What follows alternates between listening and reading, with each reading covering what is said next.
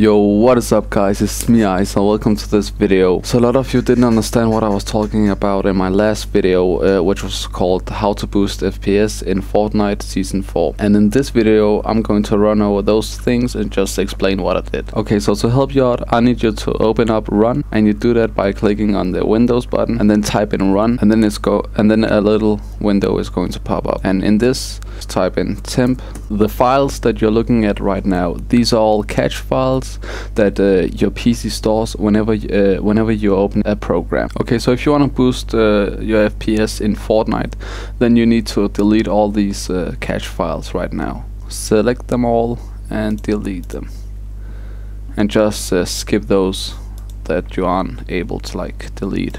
Now click on your bin and click delete.